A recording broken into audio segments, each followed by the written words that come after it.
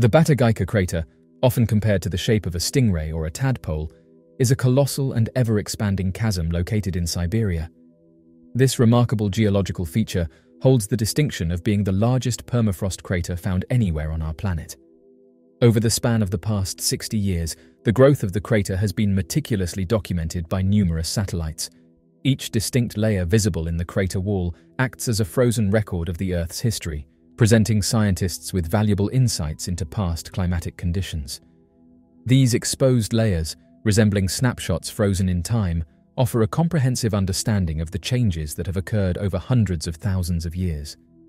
The continuous and rapid growth of the crater is leading to the remarkable discovery of various preserved organic materials from the past.